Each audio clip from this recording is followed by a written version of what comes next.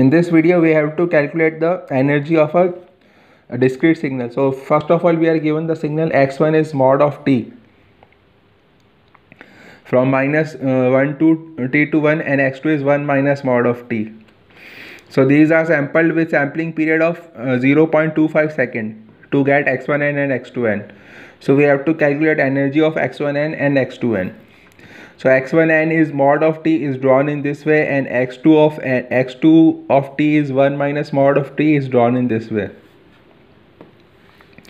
Now we sample it by sample it by 0.25 seconds. So we have to take sample every 0.25 second.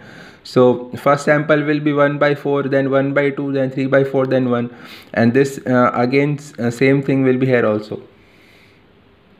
So x2n will be 1 0.750 0 0.5 uh, 0 0.25 0 0 0.25 0 0.5 0 0.75 1 from minus 1 to 1 Similarly, when we take sample of x2 and we get 0, 0 0.25, 0 0.5, 0 0.75, 1, 0 0.75, 0 0.5, 0 0.25, 0. Now to calculate their energy, we have to square all these individual terms. So like 1 square uh, is 1, 0 0.75 square is 9 by 16. Then this 1 by 2 square is 1 by 4 and uh, 1 by 4 square is 1 by 16 and so on. And similarly you have to square all these terms of x2 square of n also.